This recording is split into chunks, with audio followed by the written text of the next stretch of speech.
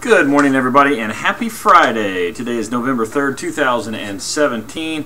Lunch choices for today are pepperoni or pepperoni pizza or peanut butter or and jelly uncrustable. There we go. How about pepperoni pizza or peanut butter and jelly uncrustable? Happy birthday today. No birthdays today that we have record of, but we do have some birthdays this weekend. Dalen Jasper, Aubrey Lancaster, and Miss Jody Murphy in the cafeteria. So if you see Miss Murphy in the cafeteria today, tell her happy birthday. And if you don't know what her name is, then introduce yourself and see if you can maybe discover who Miss Murphy is today. All right, PTO Fall Fundraiser money is due today, so please try to get all that money in as soon as possible. All right, at 9.30 this morning, staff, go ahead and set out your recycling. Uh, looks like we've got Girl Scouts in the building later this evening, 6 to 8. Also, this evening, our high school football team is uh, battling Bloomington South at the high school for a football sectional championship. So, if you have interest in that, head over to the game tonight. All right, also a reminder daylight savings time ends on Sunday, so don't forget to set your clocks back one hour on Saturday night before you go to bed.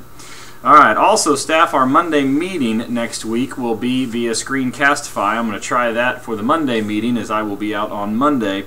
Uh, and then we'll also do our staff meeting next week via Screencastify. I will try and get uh, the Monday meeting out by Sunday evening and then probably the staff meeting agenda and items out by Tuesday evening.